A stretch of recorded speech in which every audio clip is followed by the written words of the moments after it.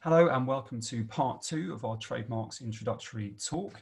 My name is Edward Carstairs and I'm a partner at Gill Jennings and Every, which is a specialist IP law firm based in both London and Munich. I'm a qualified UK and European trademark attorney, so I primarily help our clients protect their brands. I work with businesses across a variety of different sectors, including food and drink, fashion, sportswear, consumer electronics, media, and financial services We also work with businesses from various stages, whether they be startups all the way through to large multinationals. We also have a specialist team in our chemical and life sciences and IT and engineering teams, providing both patent and design advice. This is part two of our talks where we will be looking at how to maintain ownership and control of your trademarks and brands. And also we'll be having a look at the filing and registration process for trademarks. In this slide, we'll be looking at ownership and control of IP, how to maintain ownership and control of your trademarks and your brands. File trademark applications, file them now and file them in the correct name, i.e. the name of your business, rather than wait for someone else to do it for you.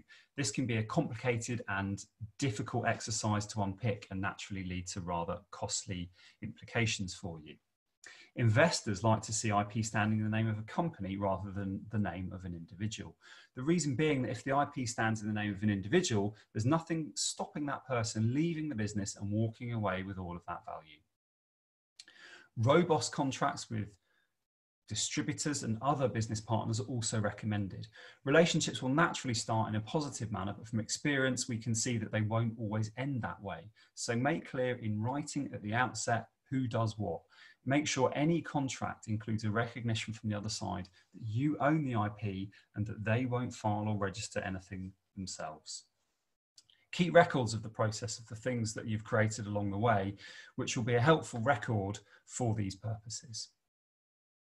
Make sure that any copyright that's created is assigned over to the business.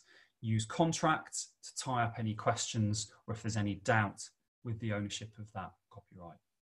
It's a very common problem we see across a number of businesses. So if you've engaged with a design company and there's no contract with you that says the IP created by that design company is assigned over to your business, then the designer will own that copyright. That's the default position in the UK. And that can be a huge spanner in the works if you ever need to rely on that copyright in the future. And indeed, it can put into question the validity of any trademark registrations that you have. So check that the copyright has been assigned over to your company. This can also include checking that the domain names are owned by your company, as well as the website content that's been created. Patents and designs also relevant. You always need to think about who's creating this IP and who is owning it. Statements of ownership on your website will, will help. So saying that the content is owned by your business and using the R in a circle and the TM logo as well is a good way of laying claim to your IP. Ask questions now if anything is unclear. Don't bury your head in the sand and wait for the relationship to break down or the marketing person to leave or the person in control of your social media to leave the business and then find that you don't have the appropriate logins. Make sure that you've addressed that early. We'll next look at the trademark filing and registration process. As you can see, there are a number of stages attached to this, and the first is the examination stage. So provided you've selected the right trademark, so a trademark that is distinctive and that is not descriptive, you should avoid any objections. An examiner will also check that the goods and services have been placed in the right class. Um, and in some countries, they will also check the register for any conflicting earlier marks and cite any of those that are considered relevant. Now, provided you're able to overcome any queries that are raised, the examiner will then place your application for publication purposes.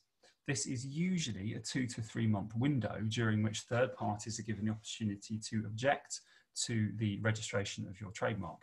Now, if you've run freedom to operate searches before filing, you'll have a pretty good idea of what issues there might be out there, and hopefully you will also have the chance to consider ways to overcome any obstacles that are thrown in your path.